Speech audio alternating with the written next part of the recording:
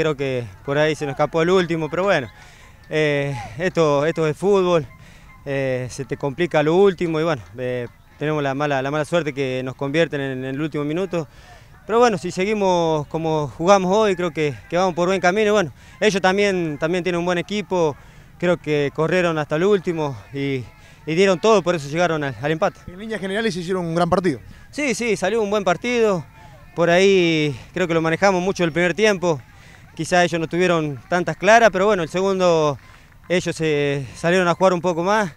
Eh, por ahí nosotros nos metimos muy atrás, se nos, venían de todos lados, pero bueno, eh, un buen resultado eh, de visitante, un empate viene bien para, para seguir adelante. ¿Es justo el empate?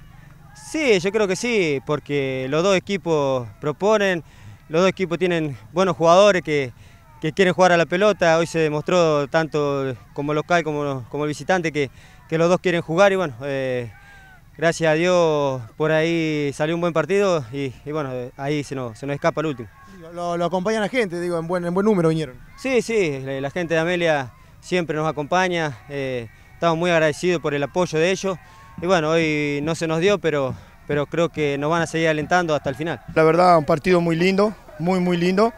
Eh, Amelia creo que tiene un equipo para estar un poquito más arriba. Obviamente que hay que olvidarse de la primera rueda, esto empieza recién ahora y bueno, creo que el partido fue parejo.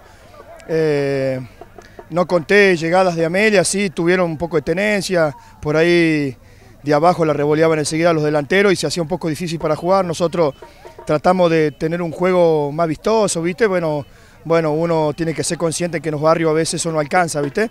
En lo que la, pelota va mucho por arriba, por ahí nos cuesta un poco. Pero bueno, eh, uno viene trabajando bien en lo físico y todos los partidos siempre hablamos de lo mismo, ¿no? Que por ahí nosotros tenemos buenos recambios y por ahí el partido que juega hasta los 90 minutos como hoy. Le hacen un gol de penal, erran un penal ustedes, eh, lo terminan expulsando a Maca, digo, un partido que fue completo, digo, para la gente fue muy lindo. Sí, para la gente, para la gente lindo.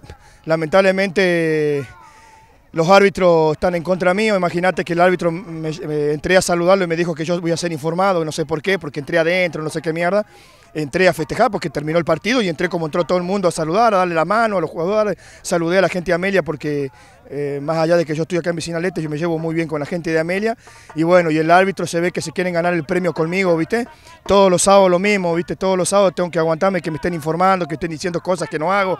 Y bueno, lamentablemente el, torneo es tan lindo, pero eh, como digo siempre, lamentablemente los árbitros nunca acompañan a, para que esto sea cada vez más lindo. Yo creo que, ellos hicieron un buen juego, sería cada uno juega como quiere y encontraron ese penal, lo convirtieron, nosotros a lo mejor si, si hacíamos el gol enseguida el ñoño no erraba ahí, a lo mejor se armaba otro partido.